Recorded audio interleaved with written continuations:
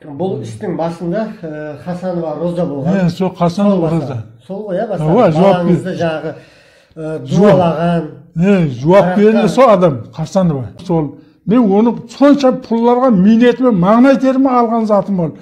Не жауапкерлік Хасанованы тауып маған жауап берсін. Соны білемін мен. Сол сосын мен қалай жатырмын бір жылдан бері мен сол айдың ішінде.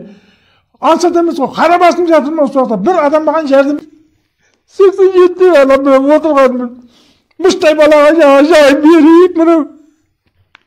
подписі почеркісі тура келмеген бір біріне Келмеген еш. Дур. салыстырғанда келмеген иә? сексен жетіге шыққан адам не қылады жапыланбай жүре алмаса адвокатларға сотларға прокурорларға мен наризамын ассалаумағалейкум баршаңызге ассалаумағалейкум каналымыздағылар қонақтары қазір мен нүкіс қаласы жиырма екінші кіші районында тұрмын яғни артымда бір б дом бұл үйде қалбаев жолдас атамыз жасайды. Яғни 87 жасты қарсы алған атамыз. Кешегі видеода көрген болсаңыз сол видео бойынша өзі бүгін әзір түсінік береді. Әзір ішке кірген соң видеода өздеріңіз көретін боласыздар.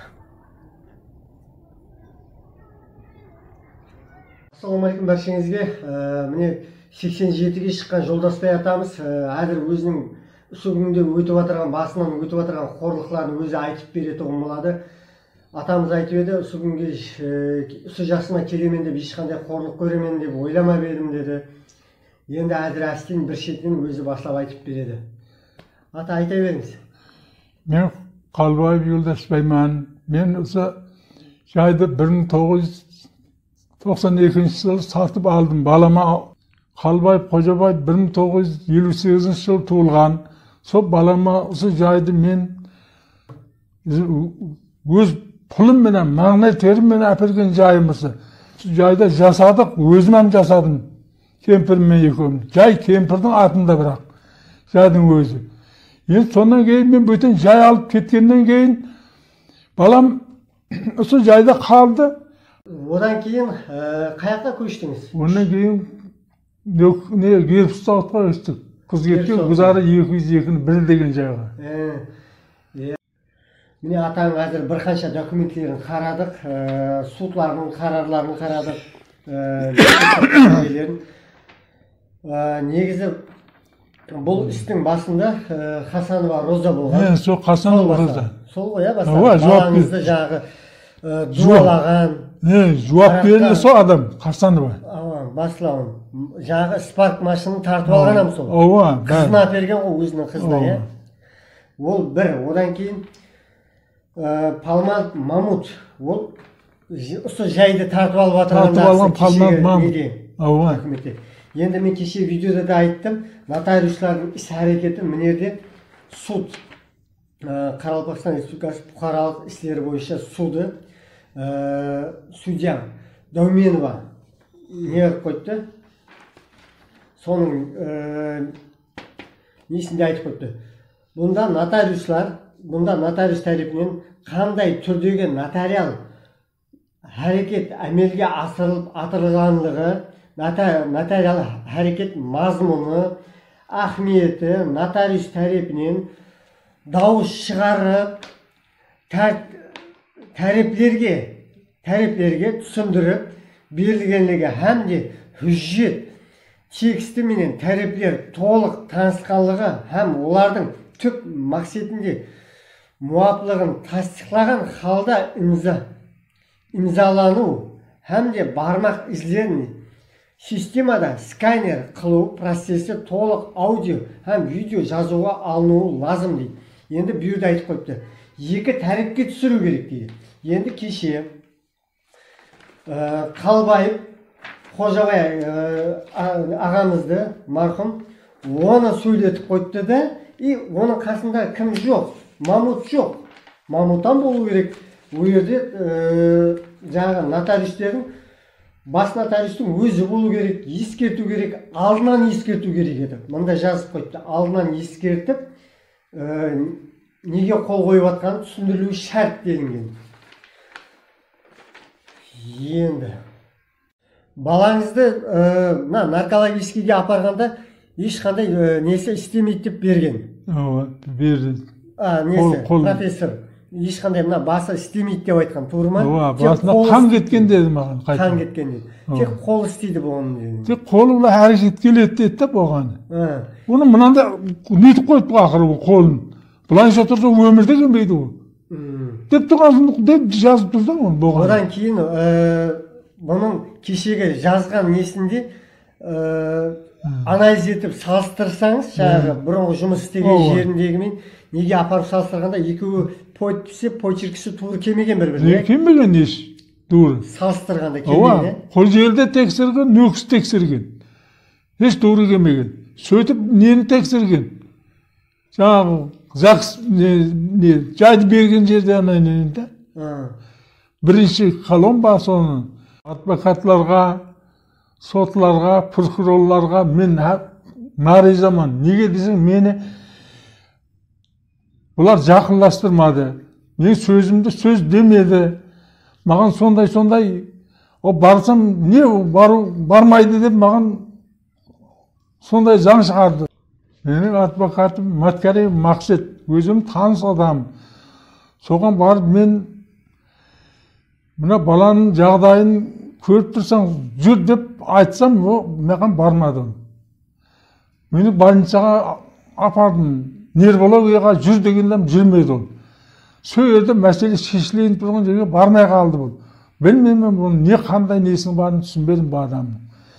Сондай сотқа шақырды онда мені келмесін деді неге келмейді менің адвокатым болса сол үшін мен нариза болып мәткериновке Не- мені хасанова роза шақырды бала ауырып ауырып жатқан ағымда да сөйтті де ол мен інімменен екеуміз келдік келіп айттық ол айтты маған 30 миллион пұл тауып бересің деді ол пұл қай маған пұл ал машинаны сат дедім ол машинаны сатып ол қыздың атына өтіп кетті сатпаймын сол жайды қалай машина сатаман деді мен айттым сен бұл жай қалай сатасың мен кемпіріме апа деген жайым ол өзімнің дедім яқ деді сенің жұмысың болмасын деді сөйтіп біздер кетіп қалдық сөйдегеннен кейін сөйтіп ертең үш күннен кейін ол баланы пропискаға апаратын болды ол сөйтіп палманов шақырған қоңсыда қоңсы шығады білмеймін көрген адам емес мамут қой иә мамытты палманов мамыт сөйтіп біздің бала келді қалбаев нұрмұхаммед тағы арслан деген бала үшеуі келіп оны экстренный больницаға апарды соны апарғаннан кейін диагнозын айтқан сол жерде орыс бар екен профессорда орысшалап айтқан оны балалар түсініп тұрған. Келуден баланы қайтарған енді. Үйге қайтарғанда очередь көп адамдар Ал. сөйтіп келіп болып палмат мамыт шақырады. Кел дейді бері дейді. Мына диагнозын айтты ғой дейді врач дейді. Бұны мен дейді баға алмаймын енді бұны айтқаны бойынша дейді. Сен дейді соны мойныңа ал дейді. Мына жайдың документін кілтін беремін дейді қолыңа. Қалай етсең олай мен жауап бермеймін осын дейді. Сөйтеді де бұл нотариус шақырады. Сөйтеді де палманов екеуі бұлар шартнама ұрады сол жерде кіммен? Жаңағы розамен ба оразамен екі үшеуі. Үшеуі шартнама ұрады да. Сөйтеді де ол шартнаманы ұрғанның бойына ертеңіне рамочный больницаға тастай апарады. Рамочный больницаға барғаннан кейін врачтар «Хо, бұл кім қара бұл адамның иесі десе бұл адамның еш қарайтын адамы жоқ. Бұл деді белгісіз адам болып тұр. Біздер шартнамаға алып жатырмыз деп үшеуі сөзді врачтың көзінше айтады. Сөйтіп одан кейін ол бұл сегіз күн бітті жатуы сегіз күннен кейін бұны екінші жаққа өзгерту керек. Сөйтіп ол республиканский экстренныйға бұны жібереді баланы. Сол күні дағы өзгереді сөйтіп экстренныйға барады барғаннан кейін ол бала тым тяжелый ауруда енді ол врачтар біздерді көрсетпейді мына шартнамам бар дейді мамыт деген еді палманов айтады Сонан кейін- тартып алған ооба сатып алған мен атымызда сенің хақың жоқ көруге дейді сөйтіп ол бала ол жерде қайтыс болады кешкі сағат сегізде сөйтіп мені шақыртады ол жерге сөйтіп шақыртып айтады. Врач айтады. Мынау дейді? Өлік кімдікі дейді? Мен айттым өлік дедім шартнамасы бар адамдікі дедім. Алмаймын дедім. Сол жерде ол палнат деген адамды сол жерде бірінші көруім шақырып келді. Мынау деді. Шартнамасы бар деді. Сөйтіп сен аласың дедім соны. Өлігін өзің жауап бересің дедім. Ол айтты маған жайды алдым деді. Өлігің маған қызықтырмайды деді. Баратын жеріңе бара бер деді. Маған сол жерде а сосын өлікті алып кеттік. Кейіннен сотқа беріп бастадық қой біздер сотқа бергенде хасанова роза палын жаңағы елбаев пен палманов бар. Сотта да. Хасанова роза жоқ. Бірінші сот біздерді аяп деген шақырды. Жаңағы біріншіде ал онда хасанова жоқ.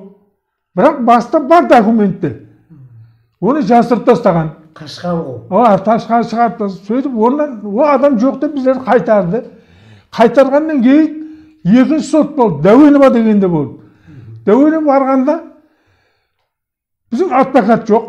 Олардың адвокаты бар. Лотари жаңағы лотарисы бар. Палманов бар. Сөйтіп сотта айтты. Бұл деді қандай деді? Бұл мен айттым мыналар дедім мен дедім кесел болып жатқан ақта дедім бұлар шартнама түзген бұлар дедім өзім таяқпенен жүріппен су жүргеннен зорға жүріппен дедім сөйтіп ол күні енді біздің адвокат болмағаннан кейін тағы дау шешілетін болмады ақыры жаңа айттым ақыры қай жақта елбаев қай жақта дедім ол жауап бермеді сөйтіп сот жабылды сөйтіп үш төрт күннен кейін тағы сотқа шақырды карантин болып қалды сөйтіп карантиннен кейін енді мен адвокат жаздадым енді ау мәжбүри не қыламын адвокат болмаса болмайды деген соң сөйтіп адвокат жалдап мені сол күні екі күннен кейін мені не шақырды нервология шақырды да аймырза деген эксперті бар екен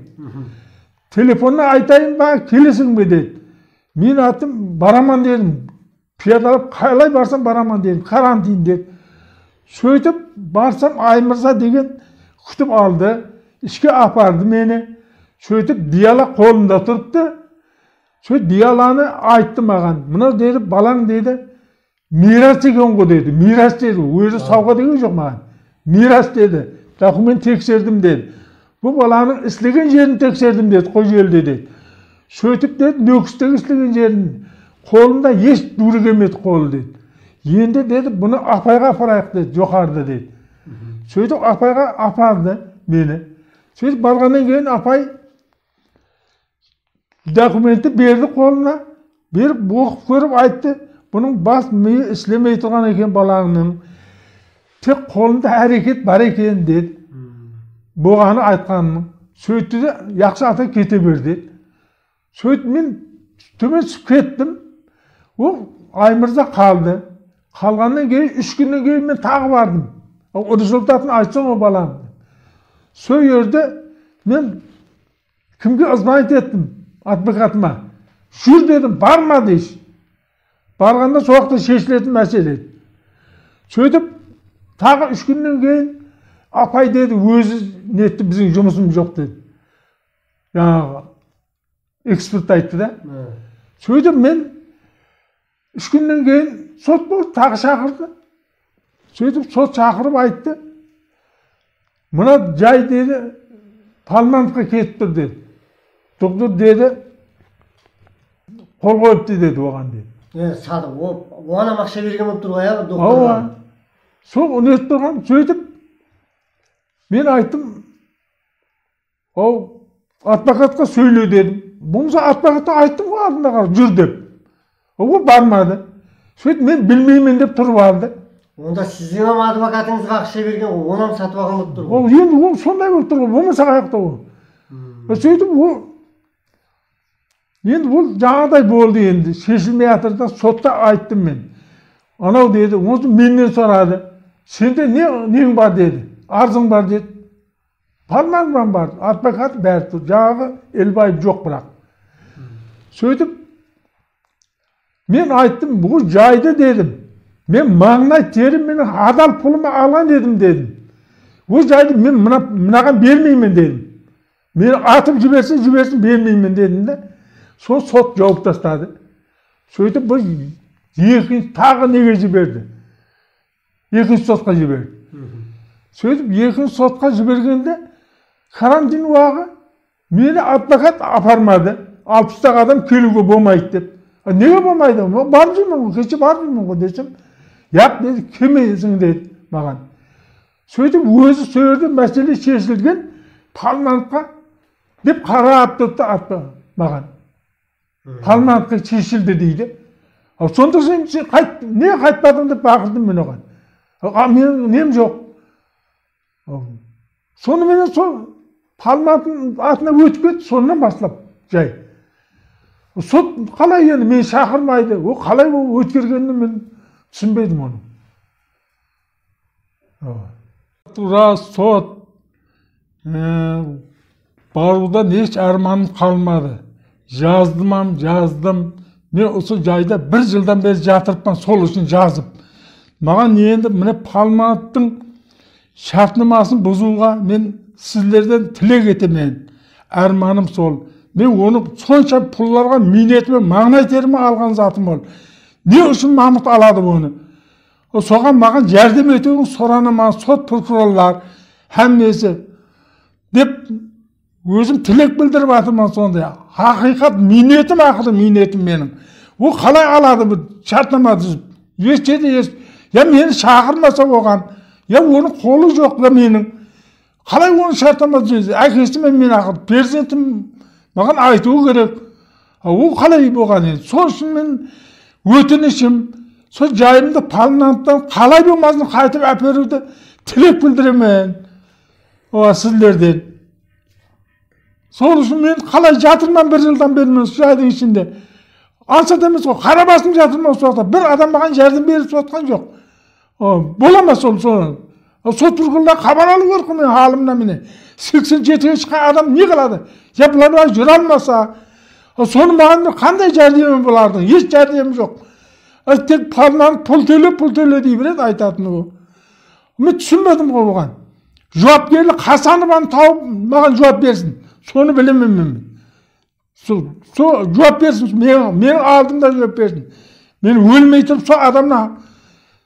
хақымды алуым керек маңнай терімді қалай етсем алуым керек мен қандай семьям жақсы семья менің менің семьямда төрт адам мбд істеген төрт адам жалғыз мен істемеген тек мбд жазып жатырмын соның үшін ал жауап беру керек оларға менде еш жинаят қылмыс болмаған осыдан бетер менде ешқандай соны шешіп беру керек бұл сот прокурорлың бәрі ал мен еле де жаза беремін өйтетін болса ал мен мвд ға жаздым бір хат келді оған тек қайтадан жаз тағы деп. Ал енді мен қалай төрт адам ұстап айлық алдым мен сонан ақыры.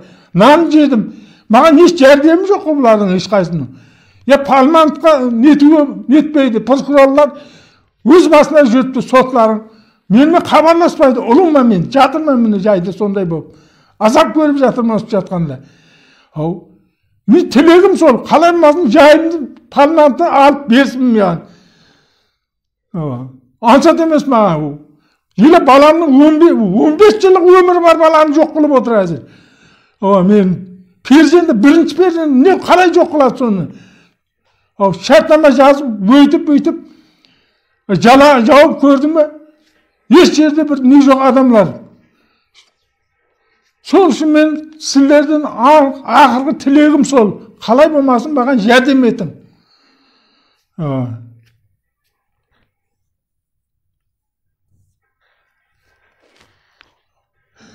аңсат болып тұрған жоқпын маған мен сонша міндет етіп мені мынау қылып қойған жақсыма сөйледі сексен жетіде балам мынау отырғанмын мұштай балаға жаңа жайып берейік мынау міне басып алады менен жайымды я менен рұқсат жоқ ешқайсысында я адам екен демейді мені жүрегім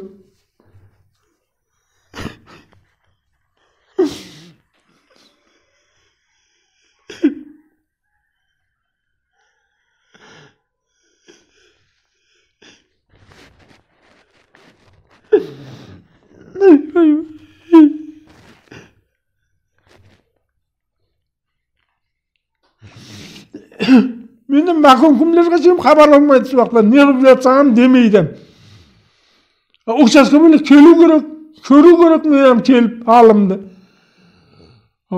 ешқайсысы бұрылып қарамайды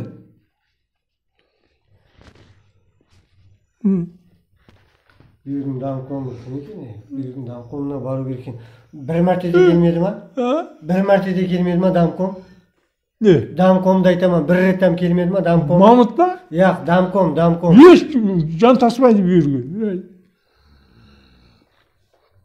кеше нәліп беретін біреуді әкеліп тапты кет шық дедім ары онысын әне біреудің ақшасын төлеуге шақырасаң бөтен ата келмейсің деп келу қабылдау керек қой я учаскеге келіп тұру керек тек кеше хатты әкеліп берді жаңағы мвдның мынаған сен жаз мына неге деп. Қайтадан жазасың ба деп жазып қойыпты астына. Қайтадан жаз нең болса деп. Ташкенттегі полатов деген полковник.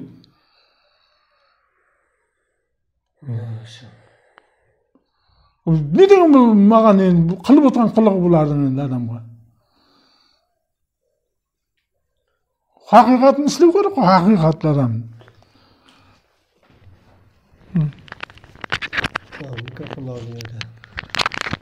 Міне көріп отырған болсаңыздар жоғарыдағы басшыларымыздан міне сексен жетіге шыққан атамыз осындай қорлық көремін деп ойламаған шығар. Ыссы жерде жылы жерде пенсиясын алып ыссы шайын ішіп жатаман деген уақытында мынандай қорлық көріп отырыпты көрген болсаңыздар міне сонша соттың үш сотқа барған үш сотқа бардыңыз ата иә? Үш сотқа барғанда үшеуінде бір дұрыс не алмайды? Тек бұл жерде жаңағы ә, палман мамуттың ақшасы одан кейін хасанова розалардың ақшалары ойнап тұрыпты. Олардың ойы тек бұл үйді екі комнатты үйді тартып алып енді тартып алғанда тұрыпты шартнама деп. Бұны сатып жібереді бұны. Бәрібір сатады ол. Бұл атаның адал ниеті енді менің айта жағым прокуратура қызметкерлерінен мвд қызметкерлерінен ә, судьялардан осыны әділ шешімін шығарып берсеңіздер. Соттың өзі де шығарып қойыпты. Мында нотариал нотариал қызметкерлер ә, қате істеген дұрыс істемеген. Енді бұл жерде ә, сол жинаяттың ішіне нотариустар да кіреді.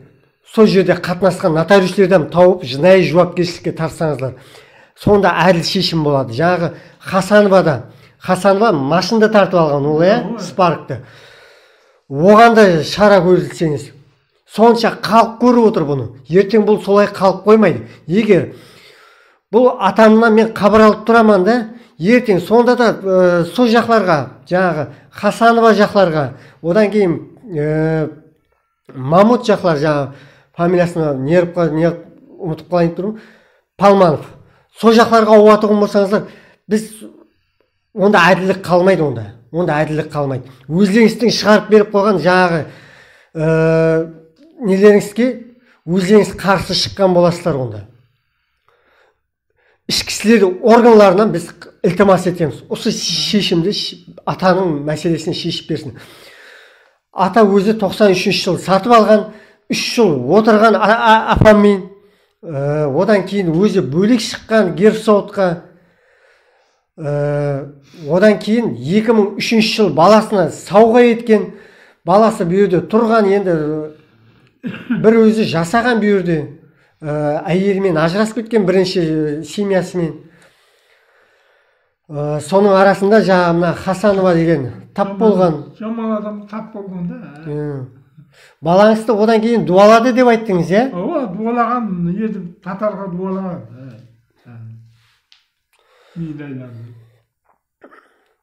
міне енді соны әділ шешімін шығарып не қылсаңыз баласы мвд да істеген екен ә, мбдда істеген жігіттер болатын болмаса бірге ә, бірге қызмет еткен жігіттер болатын болмаса егер сол ә, жігіттердің ұллары болатын болсаңыздар сол атамызға бір қызмет етсеңіз сол бір шарапаты тиеді сілерге атамыздан қайтпаса алла бар төбеңізде алладан қайтар.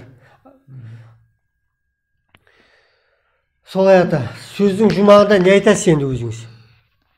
Енді мына құрметті қызмет етіп жүрген жігітлер менің үшін минет етіп бастады сіздерге де денсаулығыңызды тілеймін амандығын тілеймін міне менің жасым 87 құдайым жасымды бергей ооба сендер мен мына жаңағы тілегімді әмме бірге тір орылғайсыздар тілегім сол аман болғайсыздар сау жүргейсіздер балаларым құдайым халық арасында адал қызмет етіп сондай етіп жәрдем еткенлеріңе рахмет мың мың рахмет. Мен сендердің тілегім сол сол жайды қалаймадын алып беруге әрекет етің. Алла бұйырса бұл істі солай қалдырмаймыз ата тағы да келіп хабар алып тұрамын мен құда қаласа тағы да келіп хабар алып тұрамын. Іс қалай болып жатыр кім келді кім кетті дегендей. рахмет бәршеңізге рахмет. сау саламатта болыңыздар. Біздер тағы келеміз.